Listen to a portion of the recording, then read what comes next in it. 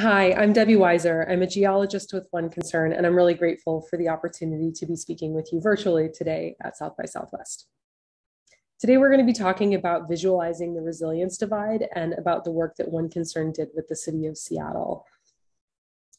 So, uh, our mission at One Concern is to make disasters less disastrous. And one of the ways that we do that is by uncovering and, and finding our blind spots. One of those is the way that um, disasters have different impacts on various demographic groups.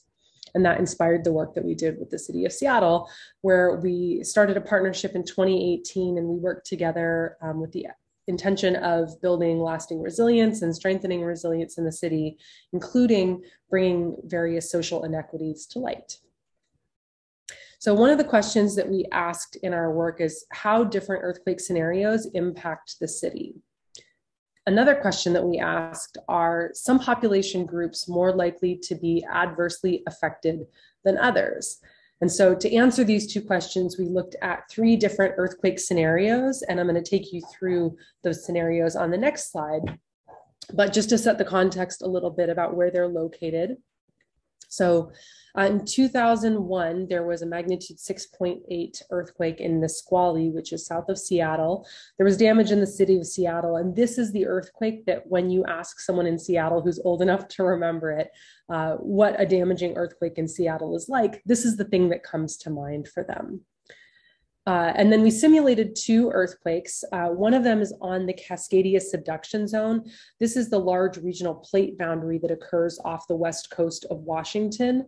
Um, it's capable of having upwards of a magnitude nine earthquake, which we simulate, uh, and can affect British Columbia, Washington, Oregon, and Northern California. But we focus on the city of Seattle. And then lastly, uh, we look at the potential for a Seattle fault earthquake. This fault runs directly through the city of Seattle, and as you'll see, can be quite damaging. Okay, so uh, these are the three different scenarios that we looked at for our study with the city of Seattle. And the colors kind of give away my punchline. Um, so as you can see, uh, there's a variety of colors here, and light blue means that there would be minimal damage, um, maybe even no damage, all the way up to red, which, if you walked along a, a street on a block that was colored red on our map, um, you would see many heavily damaged buildings and, and likely many moderately damaged buildings as well. So the earthquake on the left is, that occurred 20 years ago is what people think of um, when they think of a bad earthquake for the city of Seattle. But the images in the center and on the right show a much worse example of earthquakes that could heavily impact the city. So, what does that mean in terms of the inequity that we were able to uncover by looking at these different scenarios to answer the questions that we were hoping to address with the city?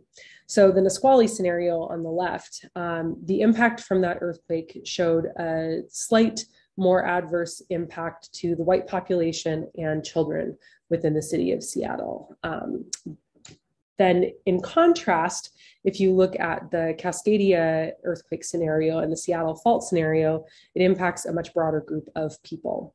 Um, so, for the Cascadia scenario, we see um, an 81% uh, negative impact and, and kind of disproportionate impact on the low income community, followed by the Asian community, the Black community, and the Hispanic community. Then for the Seattle fault scenario, we see the heaviest disproportionate impact to the Black community in Seattle, um, with a negative impact also occurring uh, within the Asian community and the Hispanic community. So as you can see from this slide, uh, the different earthquakes have different impacts on, on various population groups within the city, and they're not just a scaled up version of the damage that was seen in the Nisqually earthquake, which was one of the things that we were trying to uncover with the city. So, uh, some of the takeaways that we can uh, gain from, from this investigation um, when looking at the Cascadia subduction zone scenario earthquake, um, we saw that low income residents are, are more heavily impacted and would be um, more likely to experience severe damage compared to higher income residents in the city. And then for the Seattle fault scenario, this is a, a very staggering statistic to me. 61% of all Black residents in the city would be likely to experience severe damage or live in an area that experienced severe damage. So again, these impacts are not um, uniform across earthquakes. They impact different groups differently. And um, it was able to help the city uncover some of the blind spots that they had to uh, how they were viewing earthquakes and how they should plan and prepare for them.